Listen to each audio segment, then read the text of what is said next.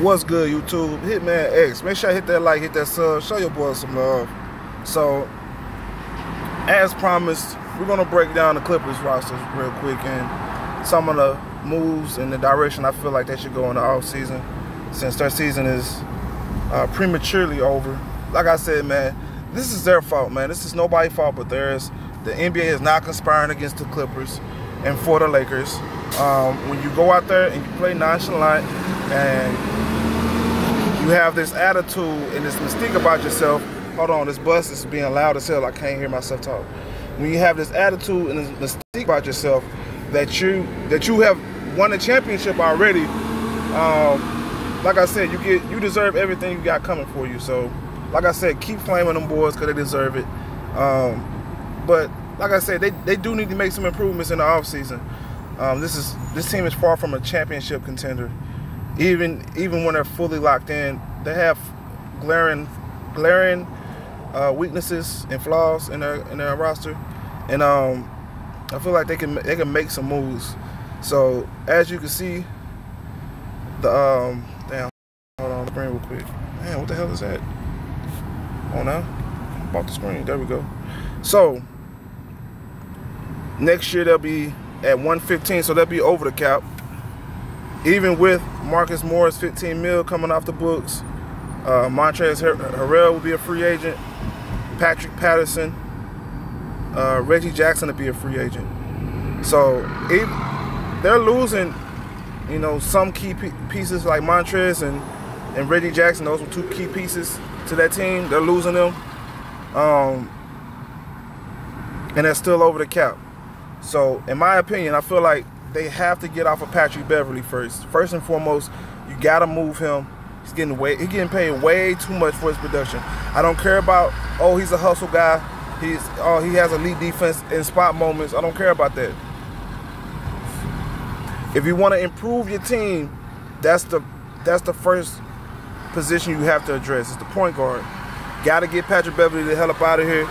He does not fit well with those guys. Um, also, I would be looking to move Lou Will. For his age, he's just not the same player, y'all. I'm sorry, he's not the same player. Um,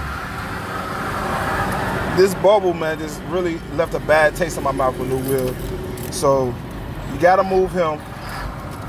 If you can do that, and JaMychal Green declines his player option, as you can see, once again, I, have, I feel like I have to educate some of you guys because you got some people making up scenarios and they don't understand the difference between a team option and a player option. In green is the player option, as you can see in the color code. In green is the player option. In blue is the team option, which means the team can retain your contract if they want to. So JaMychal Green has the option to keep that contract. I'm not sure. Maybe he feel like he'd get more in, the, in, in free agents. Hopefully he does for the Clippers. Hopefully he does. That way, um, they can free up a little bit more money. If they if they can get off of those three contracts, I think they free up close to 30, 31, 30. Oh, let me see. Let me make sure I'm right. What's that? 21. About 26 mil. Right, give or take about 26 mil. Um, and with that money, that would that would bring them to that'll bring them like under the cap, like around 30 million dollars under the cap. And with that money, I feel like they should um, see if they could get somebody like Davis Bertans. I know I've been saying his name a lot. I want him in Phoenix, no bullshit. I kind of sort of want him in Phoenix. I feel like he'll fit perfectly with there. He'll give us a little bit more floor spacing. But if we're being logical and he wants to go to a, a win now environment, there's no other better team with with cap money now that that's available than the Clippers. I feel like he'll fit perfect there. Um, also, they could go after somebody like Serge Ibaka. I like Serge Ibaka there. Um, I feel like he would have to take a little bit less money to give them the flex flexibility. Him and Bertans would have to take a little bit less money for them to um, be be able to get somebody else. Because just just adding one of those players is not good enough. They still need a playmaker at point guard.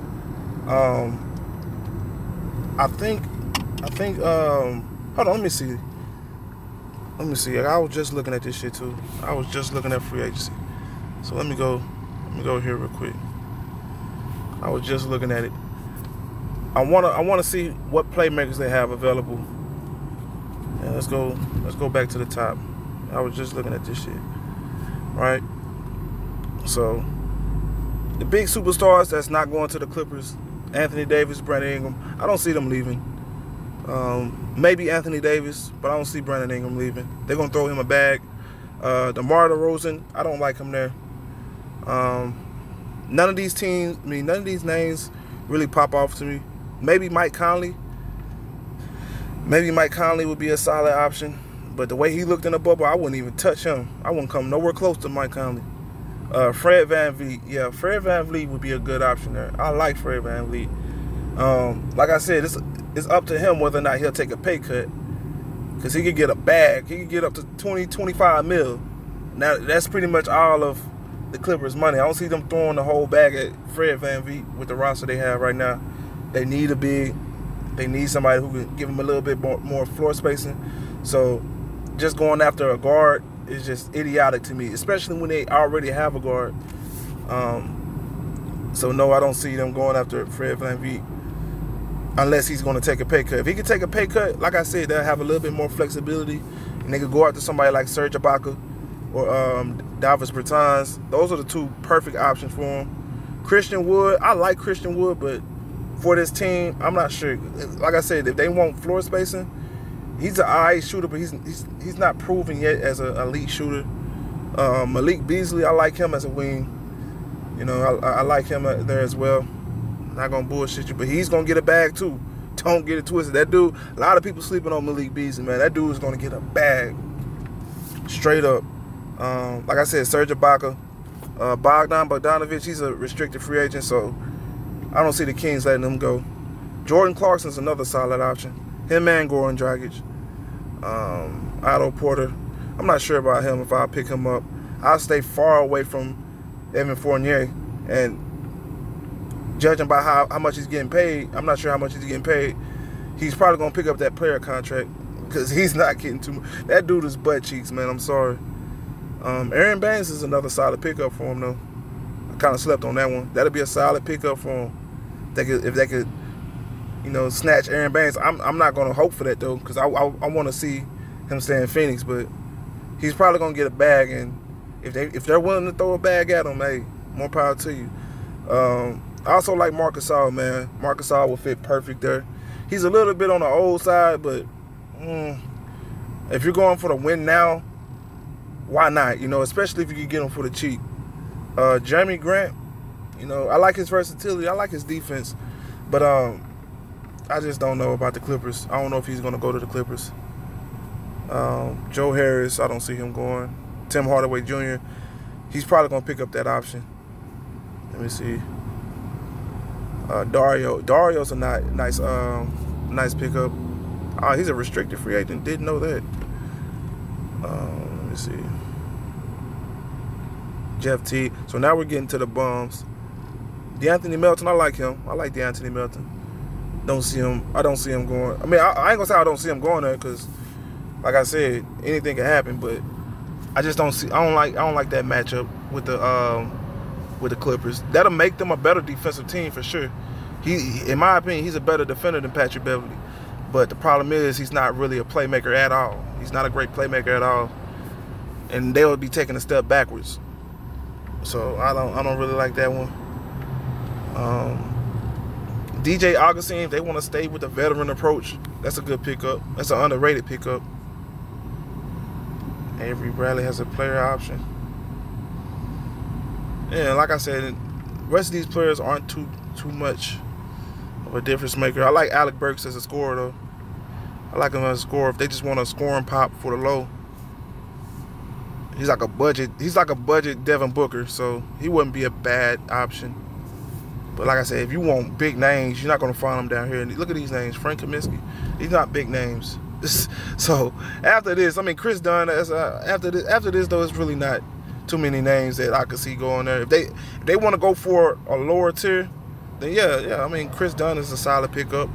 Um, Cameron Payne, from how he played in the bubble, is a solid pickup. But you know we we have an option on him, so I don't see us letting him go. And I mean that's about it. So like I said, man, the Clippers have options. They don't just have to blow it up and go for the big name like Chris Paul. Like I heard somebody say Chris Paul. I mean, I don't know why y'all keep flirting with Chris Paul name, man. like they're trying to throw him on on all kind of teams without understanding the, the, the salary cap and what teams will have to give up. And like I say, okay, let's let's say the Clippers do go after the Chris Paul trade, right? Who are they giving up? Who what package are you putting around Patrick Beverley, right? Because that's the most logical scenario. You're giving up Patrick Beverley with other players around him. You're taking Patrick Beverley, Lou Will, um, JaMychal Green, and and and a couple of non-existent picks that they don't more likely don't have. I think they gave up like what five or six picks for for Paul George, so they they, they don't really have any picks. So you're giving all that up just to get Chris Paul? Like I just don't see that. I don't see the OKC. I don't see OKC taking that. So they have better options than that, regardless. But that's all I got though. Hitman X. Hit that comment section. Let me know how you feel about this. I'm out of here.